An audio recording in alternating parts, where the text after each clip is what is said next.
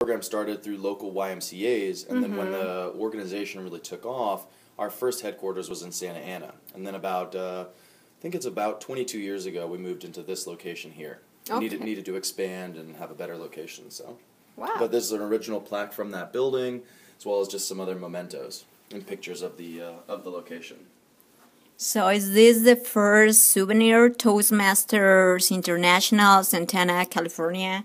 Uh, that does look like it's uh, oh that's a dedication actually. Oh, Yeah, so that's a cigar holder for um, presumably one of the original members or, or uh, directors, and it just commemorates the uh, the old location.